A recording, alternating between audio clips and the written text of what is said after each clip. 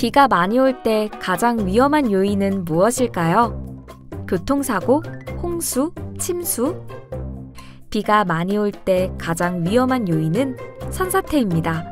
산사태는 나는 아니겠지, 나는 안전하겠지 라고 생각할 때 경고 없이 무너져 내려 집중호우 시 가장 위험한 요인 중 하나로 꼽히는데요. 이 위험한 산사태로부터 우리를 보호해주는 가장 큰 존재는 무엇일까요?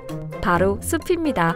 수많은 나무들의 가는 뿌리들은 서로 얽혀 흙이 쉽게 움직이지 않도록 해주고 큰 나무들의 굵은 뿌리는 안반층까지 뚫어내 흔들리지 않는 말뚝이 되어 많은 비가 한꺼번에 내려도 흙과 바위들이 쏟아지지 않도록 막아줍니다. 보통 울창한 숲의 경우 1헥타르에 0.9톤의 흙을 흘러내리게 하지만 벌거숭이 산의 경우 1헥타르당 118톤의 흙을 쏟아낸다고 하니 그 차이가 정말 어마어마한데요. 이렇게 흘러내리지 않고 꽉 잡힌 산림 토양들은 비가 올 때마다 물을 머금어 우리나라의 가뭄에도 마르지 않는 자연 저수지가 되는데 이는 맨 땅에 대비해 25배나 되는 양의 물을 저장해준다 합니다.